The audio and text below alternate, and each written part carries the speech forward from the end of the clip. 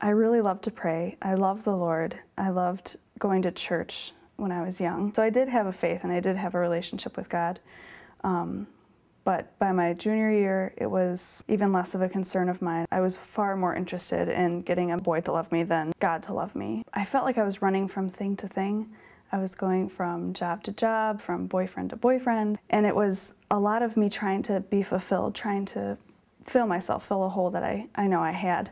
By my senior year, I completely fell away. I went away on a mandatory retreat for seniors, and the first night there was a reading of the parable of the prodigal son. And I was sitting there listening to it. I felt a strong sense that the Lord said, when you get home, you need to tell your mom everything that you've done. I resisted it because I knew that if I told my mom everything I'd been doing, she would probably have me leave the house. and the Lord just as strongly said, She'll receive you as the father did in the story of the prodigal son. I read out to my mom everything I did, and with all excuses and justifications included, and she received me back. The Lord was really present to me, really close to me, and made it very easy to turn to Him all the time. And I did. I turned to Him as often as I could.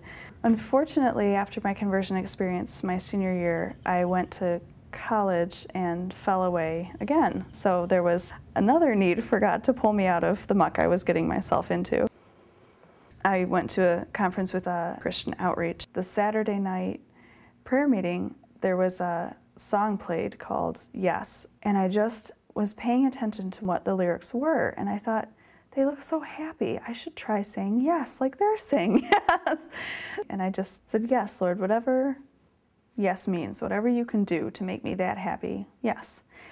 And once again, I was a bubbling pool. I was sobbing. I was running to the nearest priest to go to confession, and within 10 minutes, just everything was different. The Lord was taking my yes very seriously. I feel like a completely different person. I hope I am, for the most part, a different person because I just feel a closeness to God. And even though it's not the same as when I was first turning back to Him and He was holding my hand, it's not that same um, relationship exactly, but there's there's this deep sense that the Lord is in charge.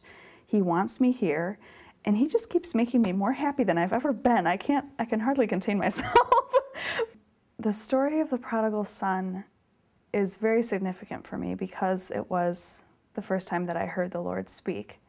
The great thing that uh, keeps coming up is not just the message that God is as loving and forgiving as that Father is, but that we're called to love and forgive that much. Um, thankfully, I had a mother who could emulate that, who received me right back.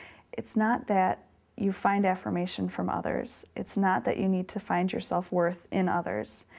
God will use others, He often does, but when you find that your worth is in the fact that Christ died for you, then, I mean, nothing can touch that. Nothing can make you say you're worthless when someone died for you who was worth more than anything.